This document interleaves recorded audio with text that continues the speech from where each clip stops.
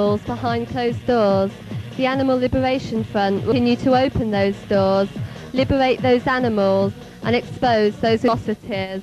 There are no limits.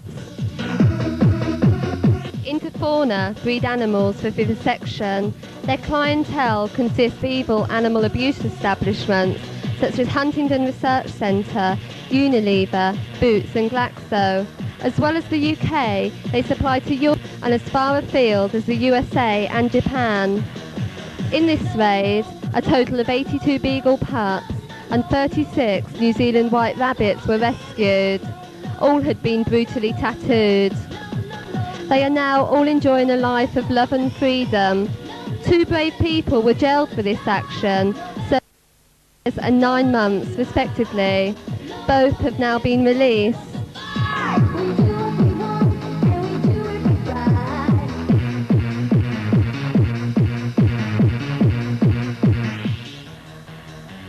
On an evening visit to a so-called empty broiler unit, activists found 16 hens left behind, all in very poor state, one still cuddled up to its dead colleague.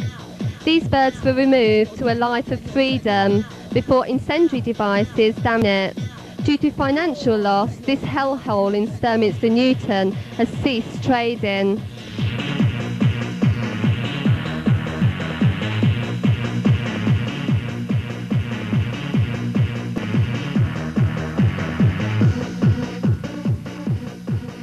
Action takes place in the form of an undercover investigation at the infamous SmithKline Beecham Toxicology Lab. Many harrowing scenes were witnessed, such as an unforgettable, calculated and cowardly murder of a young healthy beagle dog.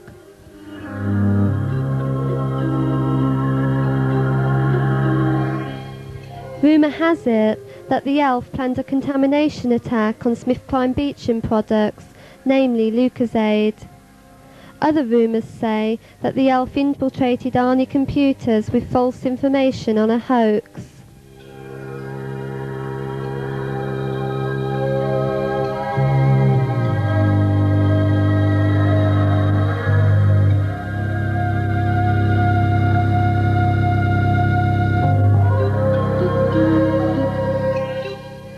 This dilemma caused Lucozade £6 million in lost sales and had 67 million wiped off its stock market value when it removed bottles from every shelf because detectives acted on faulty intelligence.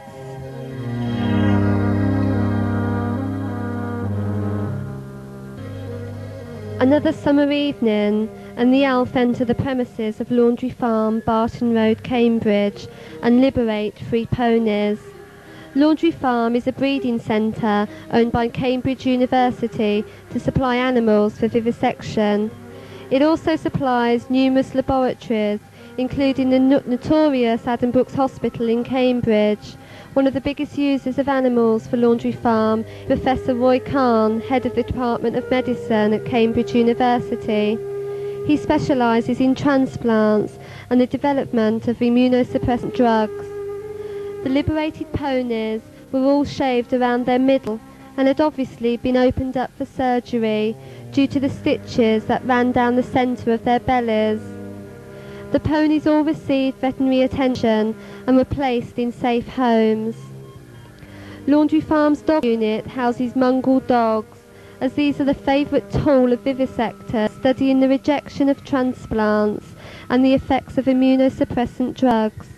These dogs are believed to be stolen pets. Unfortunately, due to the heavy fortification and a sophisticated alarm system, the ALF were unable to gain access to the dog unit.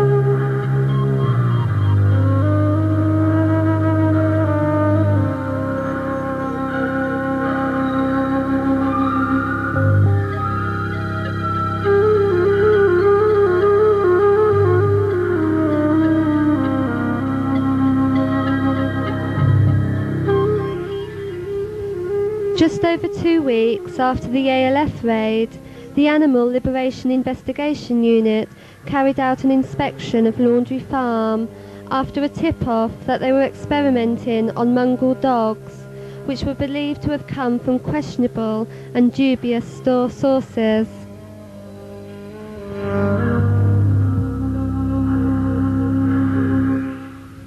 A total of eight dogs were removed by the ALIU. Tragically, seven of them were confiscated by the Cambridgeshire Police and, under, and under their decision were returned to Laundry Farm.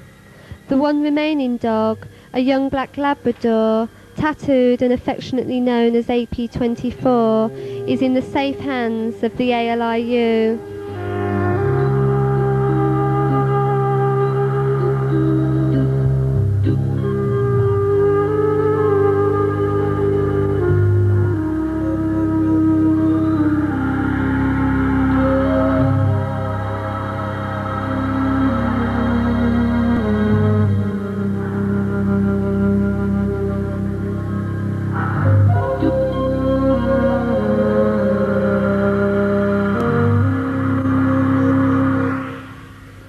Documents taken by the ALIU are always photocopied and returned in order not to contravene the Theft Act, as their intention is not to permanently deprive the owners of their property.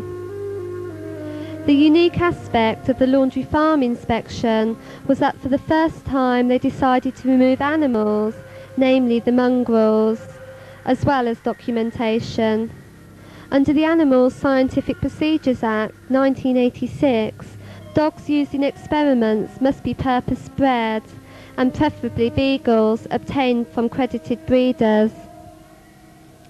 These documents taken from Laundry Farm reveal that collies, crossbreeds and foxhounds are all used there.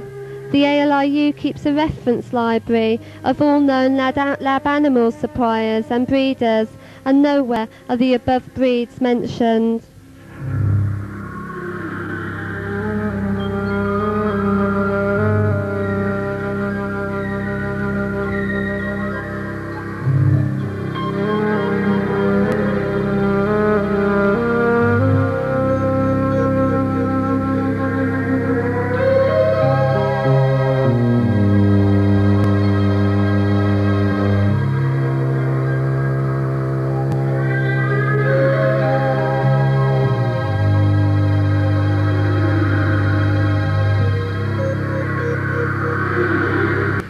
As if there was not enough to deal with, the ALF received information that a new animal house in Birmingham was in the process of being built.